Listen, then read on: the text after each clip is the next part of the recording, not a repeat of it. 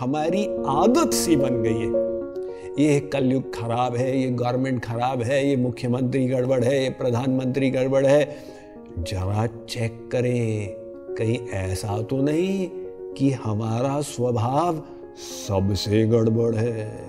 हमारे दुखों का कारण ये संसार नहीं है। जो सबसे गड़बड़ चीज़ है, वो है हमारा अपना ही मन। सबसे बड़े शत्रु बाहर नहीं है। सबसे बड़े शत्रु हैं काम, क्रोध, लोभ, मोह। हमारा अनियंत्रित मन जो हमारे ही भीतर है।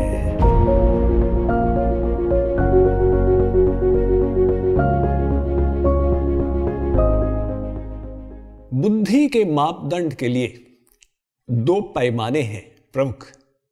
एक आईक्यू और एक ईक्यू आईक्यू है इंटेलिजेंस कोशंट और ईक्यू है इमोशनल कोशंट हम जैसे बाल्यावस्था से बड़े होते हैं और बुद्धि का विकास होता है आईक्यू निश्चय बढ़ता है. लेकिन ईक्यू बढ़े, ये निश्चित नहीं है. कई लोग बड़े होने पर भी भावनाओं से बच्चे के जैसे ही इमोशनली इमेच्योर रह जाते हैं। और उनका व्यवहार कैसा होता है? अपने भावनाओं के लिए, अपने मन की गंदगी के लिए बाहर दोष देखना। एक महिला थी। अपने पड़ोसियों की निंदा हर समय पति को करती रहती थी। पतिदेव देखिए ये पड़ोसियों को उन्होंने कपड़े लटकाए हुए हैं और गंदे के गंदे साफ़ ही नहीं किए। अगले दिन गए पतिदेव, इनकी दीवार पर कितनी मैल जमी हुई। तीसरे दिन गए पतिदेव, इनकी गाड़ी को देखिए कितनी मलिन है। पतिदेव अपना सिर हिलाए। एक दिन पत्नी ने उठकर खिड़की से बाहर देखा और कहा, पतिदेव, आज क्या हो गया है? आज तो सब पड़ोसियों के यहाँ साफ़ सुथरा ही मिल रहा है। पति ने कहा, मेम साहब, कुछ भी नहीं हुआ है।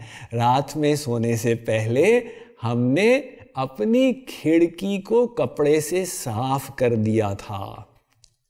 तो खिड़की अपनी गंदी थी और दोष देख रहे थे बाहर। यही तो मनुष्य की विडंबना है। हमको लगता है संसार गड़बड़ है। भगवान कहते हैं ईशावास्य मिदम सर्वम यत किंच जगत्यान जगत ए मनुष्यों, मैं सर्वज्ञ हूँ और मैंने ये संसार तुम्हारी शिक्षा हेतु परफेक्ट बनाया है। तुम्हें जो गड़बड़ी प्रतीत हो रही है, वो तुम्हारे ही अंदर है। देखिए पाश्चात्य देशों में लोग चीज़ खाते हैं, दूध से बना हुआ पदार्थ है। तो एक बहुत भी बदबूदार चीज़ होती है, उसका नाम है लिम्बर्गर चीज़। दादाजी सोए हुए थे और उनके दोनों चार और तीन साल के पोतों को मज़ाक सूझा। सोते हुए दादाजी की मूंछ पर लिम्बर्गर चीज़ लगा दी। दादाजी जब उठे, उन्होंने गहरा श्वास लेते हुए प्राणायाम किया। अरे भाई, ये बदबू कहाँ से आ रही है? कहीं कोई मरा हुआ चूहा तो नहीं पड़ा? सब अलमारियों को खोल के देखा, कमरे में तो कोई चूहा नहीं, बगल के कमरे से तो बदबू नहीं आ रही। वहाँ जाके चेक किया, वहाँ भी कोई मरा हुआ प्राणी नहीं था, लेकिन पूरे घर से बदबू आ रही। अरे भी बाहर कोई गंदा नाला तो नहीं फूट गया। बाहर गए, फिर श्वास लिया। लगता है सारा संसार बदबू से भर गया। तो संसार ठीक ही था। बदबू मात्र दादाजी की मूंछ से आ रही थी। इसी प्रकार से ये शास्त्र कहते, चित्त में वही संसार तत्प्रयत्न शोधेत।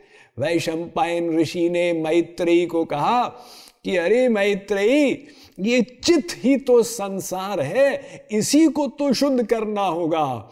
तो अगर हमारी आदत सी बन गई है, ये कलयुग खराब है, ये गवर्नमेंट खराब है, ये मुख्यमंत्री गड़बड़ है, ये प्रधानमंत्री गड़बड़ है, जरा चेक करें।